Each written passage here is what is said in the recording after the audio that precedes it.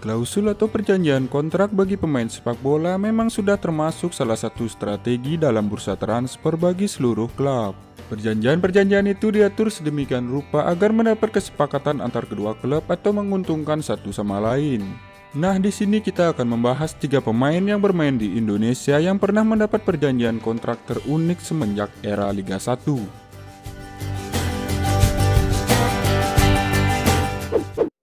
Yang pertama, Sahar Ginanjar dari PSM Makassar menuju Persija Jakarta pada tahun 2018. Penjaga gawang yang satu ini sempat berstatus sebagai pemain pinjaman di Persija Jakarta pada tahun 2018. Dan klausul peminjaman pada saat itu ialah ia tidak boleh tampil saat Persija bertemu dengan PSM Makassar.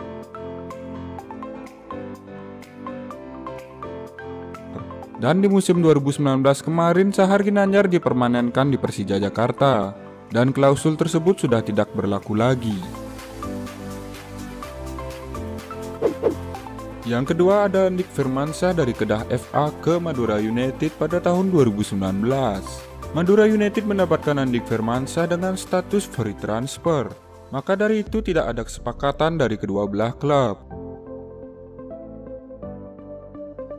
Akan tetapi Andi meminta klausul kontrak di Madura United yang isinya ia tak akan bermain untuk Madura United ketika saat berhadapan dengan Persebaya di Liga 1 2019.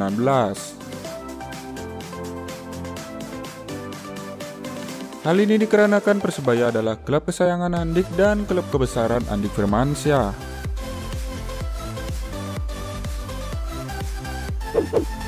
Yang ketiga, Ezekiel Nuasel dari Persib Bandung menuju Bayangkara FC di tahun 2020.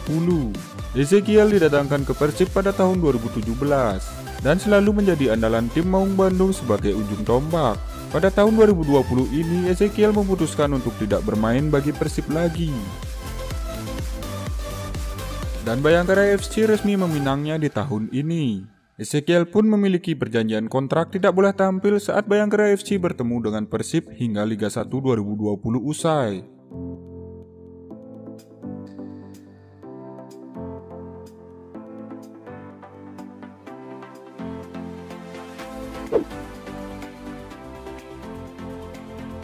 Ketiga pemain tersebut mendapat batasan bermain yang sama.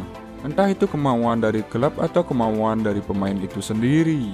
Sejatinya perjanjian tersebut sudah disepakati oleh ketiga belah pihak.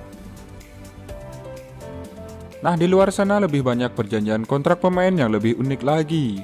Oke, kita akan tunggu perjanjian-perjanjian yang unik lainnya di bursa transfer Liga Indonesia ini.